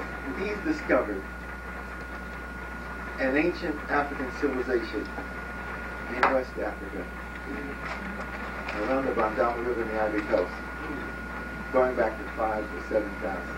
Ooh! He's got megalith heads that were carved out of the very rock. I mean, he has a hundred of them. He has them in his living room. That's why I was rushing him now. Don't he has them in his courtyard. He has a dozen in his courtyard. And he has a separate building for his library. He has them alive. My wife has it on And this is what this brother was, was into. He had discovered uh, this culture going back thousands of years in West Africa. That's a missing piece of a cultural link that runs from Senegal through uh, Nigeria. And this piece is in the center of it. So it shows a cultural sweep in West Africa. So there may be things that we have, we've been looking to the Nile because the things came together. You had your thesis, you had your antithesis, dealing with the negative and building this enormity of the of the zenith, as Dr. Ben says, coming from Nubia, uh, Ethiopia, and, and the zenith. So you had a system uh, that sustained itself for thousands of years. And we don't look seriously at West Africa in terms of ancient farm, but there's an ancient culture and civilization in West Africa that's a complement to this that was in, in uh, East Africa. And of course, in Southern Africa, the Great Zimbabwe ruins, uh, we really haven't even clocked that in. When we went to Zimbabwe, we thought we were running to the Great Zimbabwe ruins and the citadel and all that, but there are 200 stone cities in Zimbabwe. The sites of 200 stone cities, not just the Great Zimbabwe. So there's a whole cultural dynamic that we can unfold if we put our minds to it. And Booker has provided us with an important piece, that there are people that once you start to study what their role and mission was, and you capture their vision, and you add it to your insight, then the dynamic that you have is an enormous one. So, because you're building on that particular strength. And so we can see it happening now. Molefi Asante was nothing to the African dimension. He's come into it from communication. And now he's going, he's going so fast, you know, we have to hold him back pull him back. You know, and he published, I don't know how he published all his books, but he was in communication. So he's taking his communication skills and he's producing a book every six months. you Van Sertima has given up teaching. He's taking time out. He's on the road. He's taking his show on the road. Not only in America, he's going over to Holland, he's going over to Germany, he's going over to Russia, he's going over to Paris. In other words, this thing that we're talking about is international. It is not national. Moving into the African component universalizes people. And so that means we become the people who can synthesize all of it on the planet to make it make some sense. So that's where Hansberry knew there was something way out there. He probably didn't know all the full dimensions of it. But what Yelp said was, you go back and you deal with the tradition. You deal with the current manifestation. So he was able to take the ancient Nile Valley and then relate it to, and I have a book in my office where he deals with the linguistic connection with his own people in Senegal to the sacred language of the Nile. But he said you have to go to the top. You have to rise like a sun, and you have to make it an operative scientific principle. That's when we, when we put that circle, when we talk about systems, we're talking about making it an operative scientific principle so that it becomes a transformative process, so that it has a system capability to sustain itself. And even when it's attacked, it has the regenerative capability of regenerating itself. A systems, an operative scientific principle makes this whole process into a dynamic systems relationship. So that's where we're going. So curriculum inclusion was what our boy Don Smith put on the document as a political ploy. We're talking about a curriculum of correction, a curriculum of truth, and the interaction of these dynamic, this complementary opposites is a curriculum of liberation. So that's really where, where it's at. A curriculum of correction, a curriculum of truth, which will liberate us. So we're on our way. This is just a, some of the steps that we're taking. So I'm glad the brothers were here. And our sisters are here. We've got to get our daughters of Africa right tied into this process. And, um, and in Booker brought a special light. And it's not unusual that Schomburg and Just and Alain Locke were caught in the situations that they're in. Because, as I said in this, again, there's that multi-billion dollar African education that begins in the beginning with my mama and continues through that community in Newark and on to Dr. Clarke and Dr. Ben, etc. And then there's the antithesis, the million dollar white boy education, the big lie of white supremacy. And then as you interact with two, we have an enormity now. You see, and that's what Diop has done in his great book, which is coming out, Civilization or Barbarism. He deals with the Greeks in a way that the Greeks will never be the same. So I hope we can get this thing published. In other words, his analysis of Greek civilization and culture mean that can never be put on a pedestal again. And then, because the whole concept of genetic pruning, he demonstrates with documentation is what they institutionalize. Killing off the children. These northern Greeks coming in as warriors dominating the southern Greek and genetically pruning them to keep them at 40,000 slaves. But genetically pruning the Spartans themselves to keep them at 10,000 warriors. Killing off the women children, because you only need one woman to produce a lot of kids. And killing off certain men children that didn't meet the prototype. Hitler before Hitler. In other words, Diop gets into that in a serious way. I've never seen it done that way by anybody else. But that's just a, a part of his thing. His heavy thing is getting deep into what Nile Valley culture, civilization, philosophy was and the legacy that we have. But you have to balance out the negative and the positive to create that, that new, new positive charge. So that's where we're moving. I'm very happy to see it happening. Um, I'm glad the brothers came to make sure we got it on on some type of tape. I'm glad Diane is here so she can get a taste of it. And too bad Adelaide wasn't here so she could just sit and, and be in her glory. Brothers and sisters, I brought 19 slides, Professor Hansberry. I got so carried away, I forgot to show no, them. you have to, no, we have to. I was going to ask you that, but I you have to show because we we try to leave around. It'll take it'll take about five minutes. Yeah. There's a question. There was a, there's a question. Excuse me, there's a question. Please. Oh, one question, Booker, before you start. Um, Quiet. Hotep. My question, my question is the actual material research that In other words, I understand now that I will learn about Asian technology, I can pick up that whole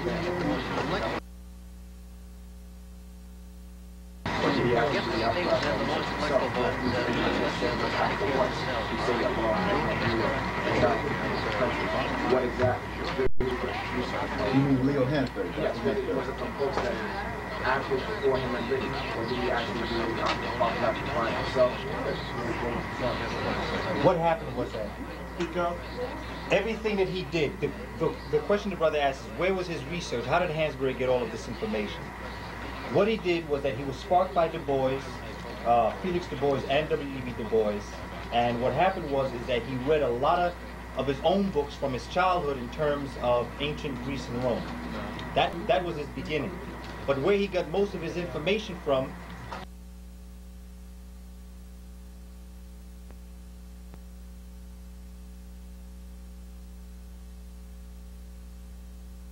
and J.A. Rogers together. J.A. Rogers, uh, he worked with all the heavyweights. Uh, he was in contact with Drusilla Dunjee Houston when she wrote her book, Wonderful Ethiopians. Uh, James Spady did a, a, comparative piece because remember, Drusilla Dunjee Houston was impacted by Du Bois' The Negro also. And that's what spurred her on. So what's most interesting is that here you have a woman, I think she was in Oklahoma, and you have a man that is in um, Mississippi being impacted by this one book, and they're both rising to become scholars in their own right. A lot of writings in terms of a lot of the scholars, but most of it came from the Greeks and the Romans. Uh, he has a book, James, um, Professor Joseph Harris wrote a book, Africa and Africans, as seen by the classical writers. And in this book, you can see Professor Hansberry's writings from where he got the Greeks, like Pliny the Elder, uh, Herodotus, uh, Callisthenes. A lot of different writers began to write that he was impacted by, but then he began to depart from that. Charles Seifert, George G.M. James.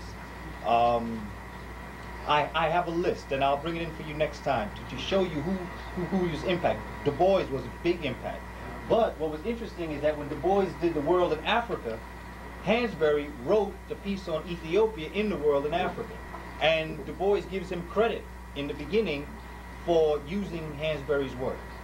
Uh, Hansberry was invited by Du Bois for the fourth Pan-African Conference to speak on the evolution of the African presence in the world.